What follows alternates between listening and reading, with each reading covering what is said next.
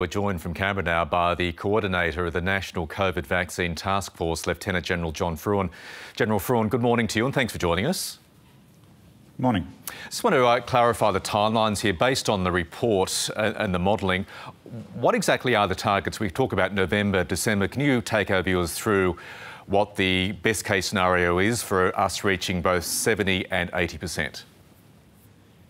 Yeah, sure. So we're um, we're still seeking to have uh, the opportunity for every person in Australia who wants to have a, a vaccine to be able to do so this year. But if uh, all goes well, we've got the supply coming, we've got the distribution nodes set up.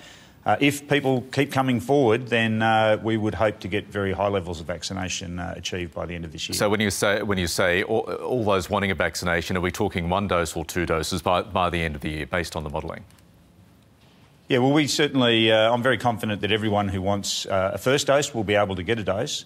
Uh, but with the supply that we have and the distribution network that we're setting up, if, if people in Australia keep coming forward for vaccination as they are, then I think we can get uh, a, a good portion of the population fully vaccinated this year.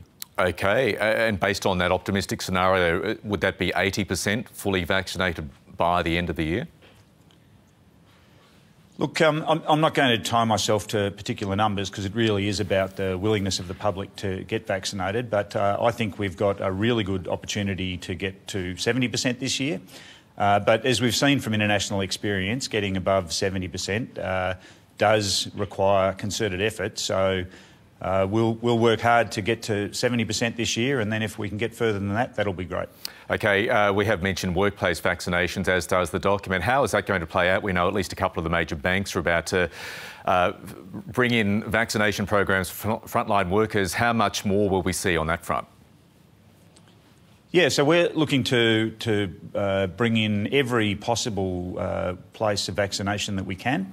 Uh, you know, the GPs have been doing great work. We've got the pharmacies coming into play now. The, the state hubs have been very busy.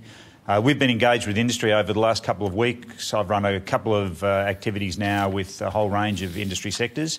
Uh, and as you've said, I'm very pleased. Uh, you know, led by the CBA, the CBA and Westpac now will do uh, a workplace vaccination trial with AstraZeneca. but there are a number of industry sectors now who are making preparations. So uh, as soon as we've got uh, uh, the mRNA vaccines available as well, then they'll get into workplace vaccination probably uh, in September at some stage, maybe late September, but it, definitely early October. Okay, now drive-throughs by mid-September. Talk us through that. Yeah, well, that's that's another option. Uh, so we've looked at uh, all all of the options. drive-throughs is one potential option. the plan that we've released yesterday also talks about pop-up hubs. What I'd really like to see uh, as we get later into the year is the maximum convenience available for uh, people in Australia to, to get vaccinated. So uh, we're intending to, to keep looking at all of these sort of alternatives and then getting the uh, arrangements in place to to uh, to get them going. But of course, the jurisdictions will decide what they think is best for them, and then we'll work with uh, the states and territories to to facilitate that. There's reference in the document to, to further ad campaigns. Uh, when will we see those? Will we see those, and uh, what demographic will they target in particular? Yeah. So look, uh, the the campaign will evolve through the course of the year. Uh, we've started to stress through arm yourself uh, the importance for individuals to get vaccinated and the importance of them encouraging their friends and families and communities to get vaccinated. Uh, you know, as we go through the year, we'll start to sort of rally the nation a bit more to, to getting this done as a nation because it really is an important uh, underpinning of our, our national resilience to COVID going forward.